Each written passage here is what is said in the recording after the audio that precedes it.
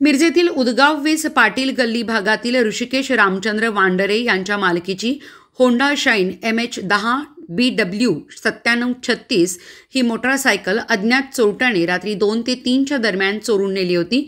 रात्रीच्या सुमारास लघुशंकेसाठी उठलेल्या ऋषिकेश यांना आपल्या घरासमोरील मोटारसायकल दिसली नाही.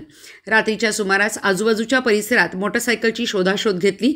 मात्र ती मिळून आली नसल्याने शुक्रवारी पुन्हा सकाळी शोधमोहीम घेत असता मिरज बेळगाव रेल्वे गेट समोर एक मोटारसायकल झाडाझुडपात जाळल्याचे दिसले. त्या ठिकाणी पाहिले असता सदरची मोटारसायकल वांड्रे यांची असल्याचे आढळले. ही मोटरसायकल पूर्ण जळलेल्या अवस्थेत आढळली. गाडीच्या हेडलाईट आणि काही खाणाखुणामुळे गाडीची ओळख पटली. सदरची घटना नशेखोर तरुणांनी केल्याचा संशय व्यक्त करण्यात येतो आहे.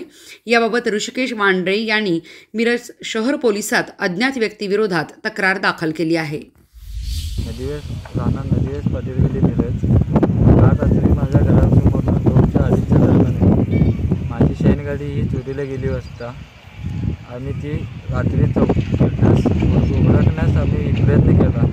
तरी काय गावली नाही तरी सकाळी आम्ही कृष्णाघाट रस्त्यास आम्ही चौकशी ब- बघण्यास आम्ही येत असताना आम्हाला रस्त्यावरनं गाडीची पुढची हेडलाईट त्यानं आम्हाला दिसल्यास आम्ही आत येऊन बघितलो. त्या बघितल्यानंतर आपल्याला आम्हाला गाडी आहे ती आपलीच आहे अशी खात्री पटली. खात्री पटल्यानंतरनं अज्ञात व्यक्तींनी त्या झाडाझुडपात खड्ड्यात आणून गाडी पूर्ण जाळलेली आहे. ही आम्ही गाडी बघताच. आम्ही मिरज शहर पोलीस स्टेशनात आम्ही गुन्हा दाखल करणार आहे.